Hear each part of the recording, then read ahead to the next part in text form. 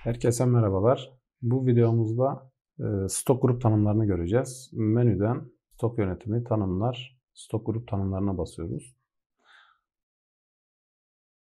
Burada mevcut satırın üzerinde değişiklik yapmıyoruz. Mutlaka artı butonuna basıyoruz. Yoksa mevcutu bozarız.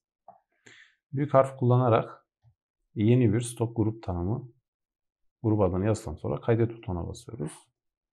Daha sonra yeni bir grup ekleyeceksek artıya basarak aynı şekilde grup adını yazdıktan sonra kaydet butonuna basıyoruz.